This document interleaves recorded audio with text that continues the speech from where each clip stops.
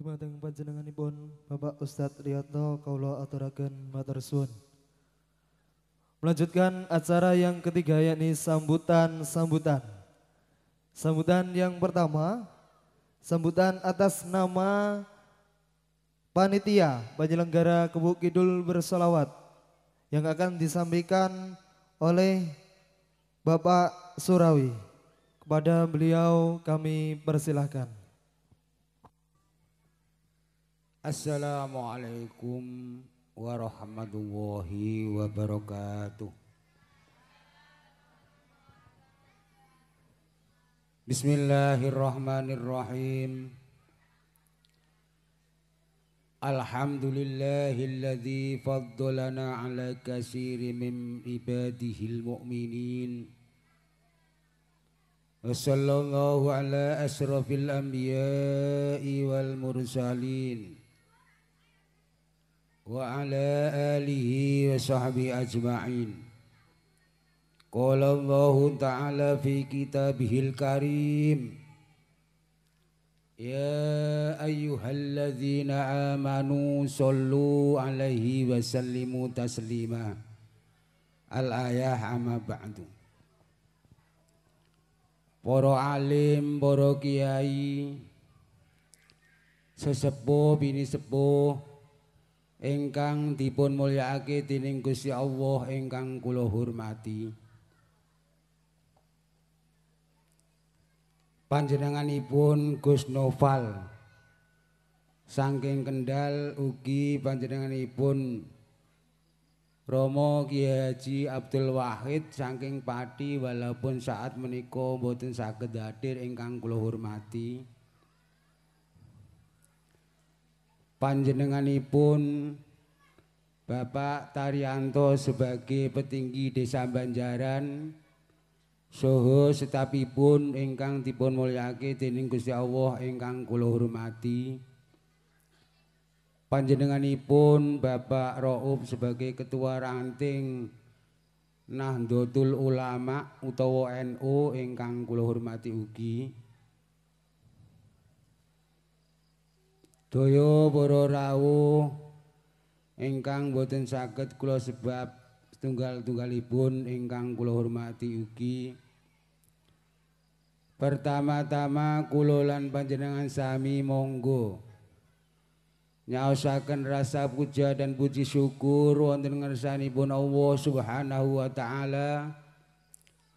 Bilih kula lan panjenengan sami ing dalu menika dipun paringi pinten-pinten kenikmatan dipun paringi pinten-pinten kesehatan kesaenan budi pekerti kula lan panjenengan sami sehingga kula lan panjenengan sami saged berkumpul dalam arena ingkang sederhana menika kanthi nyuwun ridhonipun Allah dalam rangka peringatan Maulud Nabi Muhammad sallallahu alaihi wasallam Kaping kalihipun selawat serta salam Mugi kunjuk dumateng Nabi Agung Muhammad sallallahu alaihi wasallam.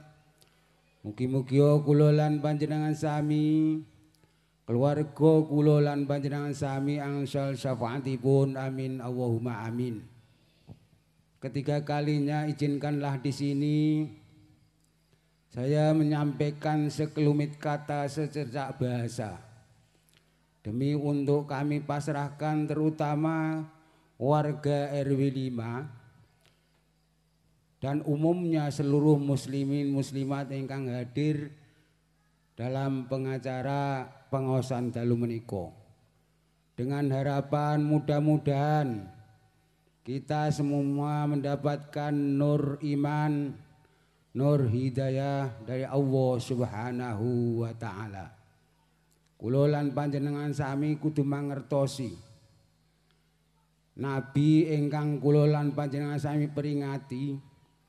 Nabi utawa rasul ingkang kula lan panjenengan sami peringati dalu menika boten sami kalian nabi-nabi sanesipun.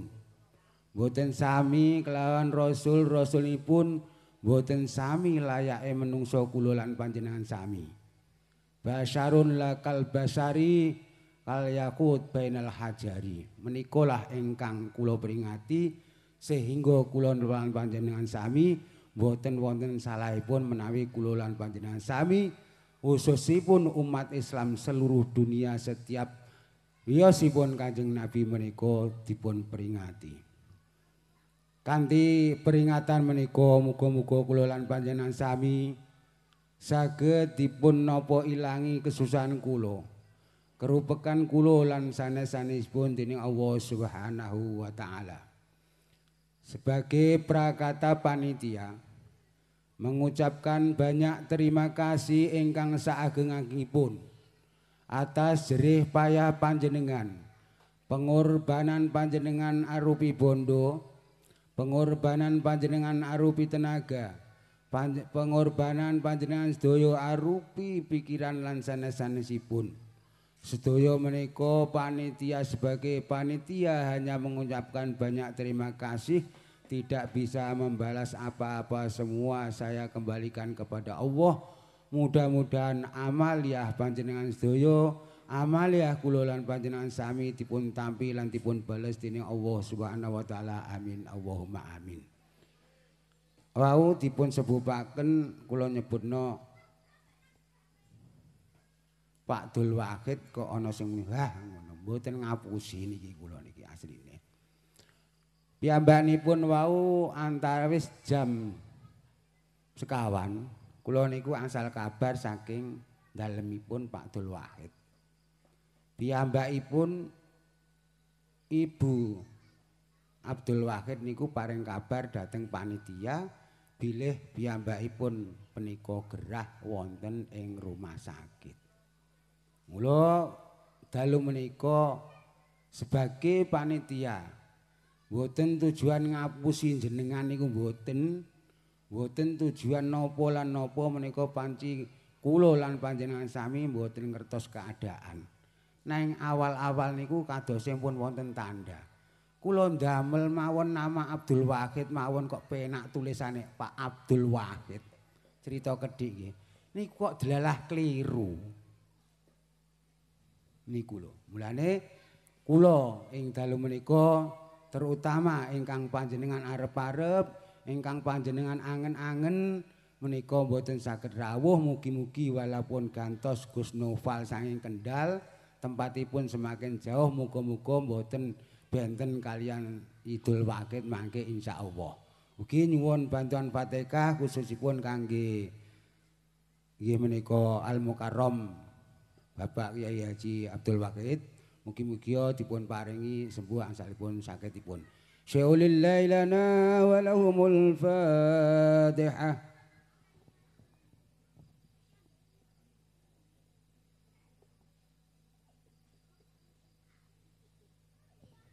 Matur nuwun.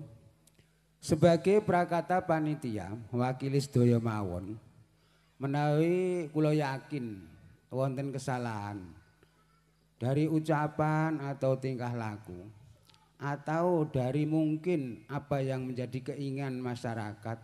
Atau keinginan muslimin muslimat tidak bisa mencukupi? Mewakili panitia kula nyuwun agungipun pangapunten ingkang saageng-agengipun ugi pribadi nggih mboten pantes menawi kok kula matur kata-kata menawi wonten lodak latuke kula ngomong wonten ing ngajengi panjenengan sedaya kula nggih menungso biasa akeh lupute akeh dosane nggih kula nyuwun agungipun pangapunten. Kula akhiri wabillahi taufik wal hidayah. Wassalamualaikum warahmatullahi wabarakatuh. Kebuk idul bersalawat Allahumma sholli ala Muhammad